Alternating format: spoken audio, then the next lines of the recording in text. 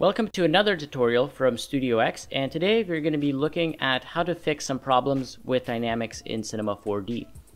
So I have a pretty uh, simple scene here. As you can see it's a bunch of bottle caps and just to start from scratch so we can figure out all of the problems I'm going to delete all of the dynamic tags. So right now we just have a normal scene and if I play nothing happens because there are no dynamics. You're going to right click on floor go to simulation tags and choose collider body. And now because my cap is inside of the cloner, I'm going to right click on cap, go to simulation tags and hit rigid body. Let's go ahead and click play. And as you can see the caps drop. Let's make this 300 frames so we can actually see what happens for a little bit longer. So you see the caps drop and it seems to be fine at first, but then you start realizing that the caps don't stop moving. They're basically jiggling and bouncing on the floor, which is probably not something that's going to happen in real life. They're not just going to be forever bouncing. And that could be your first issue. So let's go ahead and fix that first. The problem is that it is calculating probably every frame or um, five times a frame so it just keeps thinking that there's an action still happening behind the scenes. So to fix that, go to Edit, Project Settings, and there's a, a couple of different tabs here, but you're going to click on Dynamics, and you are going to go into the Expert tab. And here you can see steps per frame, it's set to 5. I'm going to change that to 25. And then maximum solver iterations per step, I'm just going to bring that up to 25. You don't have to use these exact numbers, you can um, slowly crank it up. Like you can try 10 and then 15 and then 20, 25, 50. Um, I probably wouldn't go over 50 unless you're doing something extreme because the higher you're going to put this number, the more time it's going to take to calculate each frame. So let's go ahead and take a look at our simulation now. So you can see the caps actually drop in a lot more realistic way and after bouncing they actually end up slowing down and stopping. So finally, that is actually working fine. That's actually doing the way we want it to be. Another issue you could be having inside of Cinema 4D Dynamics is that your objects aren't reacting the way they're supposed to. So here we have a, a cap and we have a ball. Let's add a color to it. We have a nice ball. And as you can see when you hit play, the ball just lands on top of the cap and it's not going inside of it and that is because the shape is set to automatic. And that's usually to calculate dynamics the fastest, and as you can see, it stops exactly at the top. And that's because it doesn't know that the bottle cap is hollow, because that would you would need to calculate a lot more in order for it to basically realize that. So if you click on your dynamic tab under the cap, and you go into shape in the collision tab, Instead of automatic, let's do moving mesh. And let's go all the way back and hit play. So you can see the dynamics are working a lot slower, but the ball and the cap are actually interacting. So now you can see the ball is inside of the cap instead of on top. So that's good and fine, but you can see that it takes a lot more time now to calculate. And there's a way to fix that.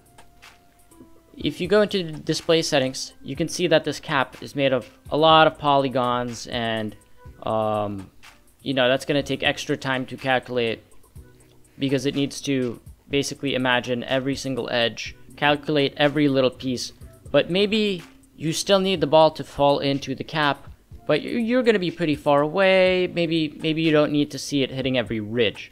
Uh, so in order to make the calculation faster, you can actually make a proxy of this cap. So to do that, you can, it depends on your shape, but for this example, for the cap, I can just make a cylinder. I'm to put it under the cap. I'm to zero out all of the dimensions just so it's at the exact same point as the cap is. Except I do need to rotate it 90 degrees here. Perfect. And I'm to go into this view here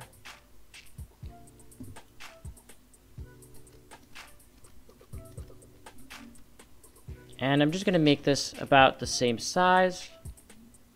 That looks pretty good. the same height.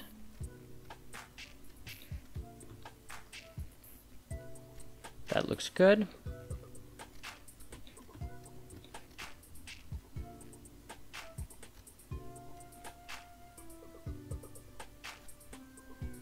That looks about perfect.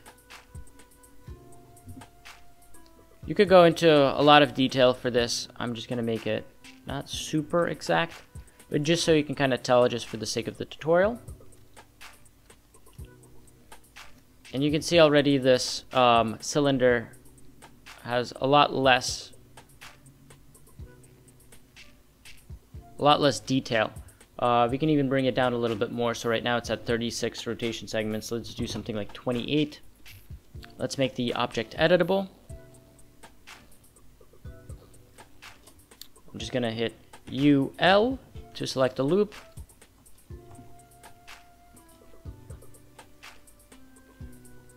Extrude inner, I'm just gonna make a little bit extra segments. Nothing too crazy. I'm gonna go into my, my lines, again hit UL, select the loop. As you can see this goes um, closer to the cap. And I'm just gonna scale this in. That looks pretty good. Oh, you can see um, that they're actually disconnected from the bottom. So what you need to do is select the whole shape, click optimize. Now we can go into UL, select our loop, and scale it. Perfect. I'm gonna hit UL, select this loop, scale it to about the dimension of the cap. Bring it down a little bit. Okay, perfect. And now I'm gonna go into my faces, hit UL, make this, uh, make this a little bit smaller. Go into extrude inner. There we go. And then extrude and extrude this onto the inside of the cap. So down to here, and then maybe again extrude inner And then this we can actually just bring down. Perfect. So basically what you made is you made a proxy of the bottle cap. And now I'm gonna take it out of the parent. So this is the actual cap, and let's call this cap proxy, just so we keep things nicely named. And we can actually delete the dynamic tag, bring our cap into our cap proxy, and then put a brand new dynamic tab onto the proxy. Oh, I misspelled proxy here. Whoops, that's embarrassing. Proxy, there we go. And once again, for the collision, for the shape, you're gonna do moving mesh.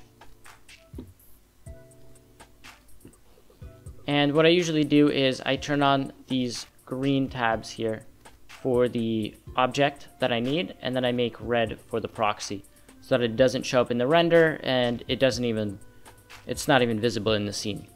So now when you hit play, you can see that the ball falls inside and is still interacting with the walls. And you can make it, you know, more accurate by modeling the proxy model better. So you can see here the the ball doesn't fully fully touch the proxy, the actual floor. So you can just keep modeling it slightly better, or you can just go into the um, size increment and use a zero centimeter margin. And as you can see, there we go. Now it's touching the actual floor, and it is now looks like it's touching the actual floor of the um, of the cap. And you can see that the simulation is a lot faster than doing it with the bottle cap itself.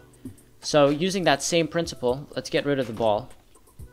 Let's get rid of our original cap. Put the proxy into the cloner that we had before. And you can see we have a lot of bottle caps here.